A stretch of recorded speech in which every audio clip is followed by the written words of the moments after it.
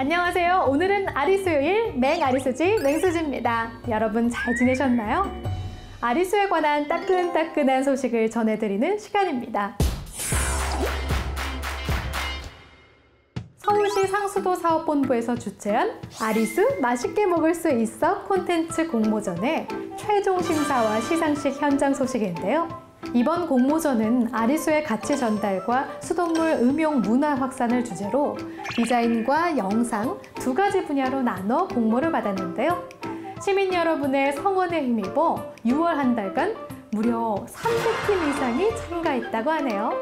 2020년 8월 21일 상수도 사업본부 대강당에서 아리수 콘텐츠 공모전 1차 심사 선발 16팀에 대한 최종 심사를 진행할 예정이었는데요. 아쉽게도 최근 급속한 확산세를 보이고 있는 코로나19의 감염 예방 및 안전 관리를 위해 부득이하게 온라인 방식으로 급히 전환하고 최소 인원으로 시상식을 진행하게 됐습니다.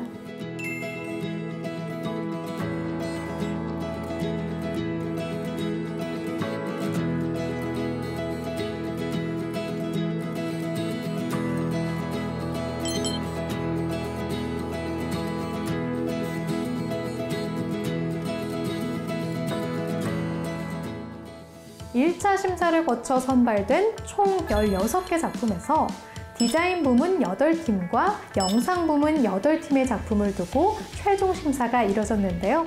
더 뜨겁고 또 더 긴장되면서 오늘 이 방송을 보지 않을까 싶고요.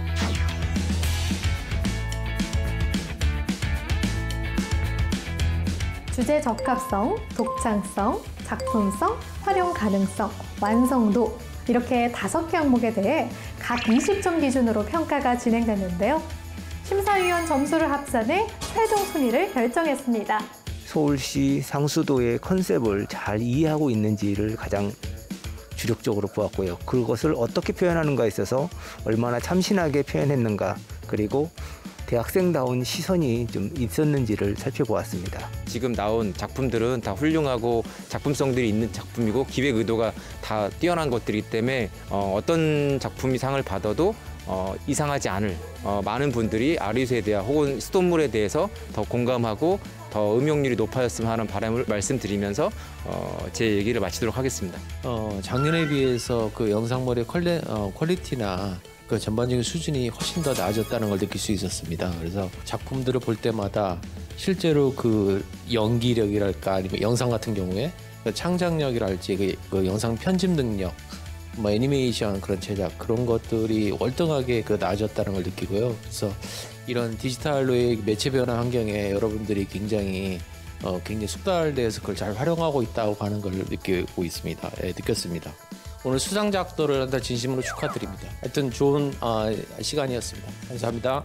그 결과 장려상은 10팀으로 디자인 영상 부문에서 각각 5팀이 수상했고요.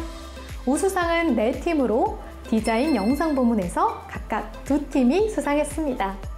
그렇다면 아리수 맛있게 먹을 수 있어 콘텐츠 공모전 최우수상은 누구에게 돌아갔을까요? 바로 최우수상은 영상 부문 아참조어 팀의 아리수 챌린지가 수상했습니다. 아리수를 마실 때 경제적, 환경적 측면에서 얻을 수 있는 긍정적인 효과를 코믹하게 연출해 직관적인 전달력이 돋보였다고 하네요.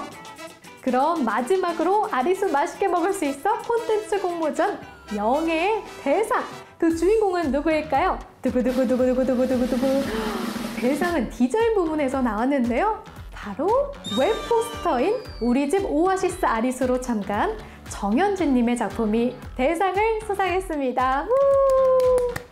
우리 집의 오아시스라는 콘셉트를 가지고 집안의 다양한 부분에서 아리수가 미치는 긍정적인 영향, 아리수가 지원하는 다양한 서비스를 효과적으로 알리고 궁극적으로 수돗물 음용률을 높이고자 하는 목적으로 기획된 작품이라고 하네요. 수상한 모든 분들 진심으로 축하드립니다. 참, 모든 영상은 아리수TV에 업로드될 예정이니까요. 많은 관심 부탁드릴게요. 오늘 전해드릴 아리수요일 소식은 여기까지입니다.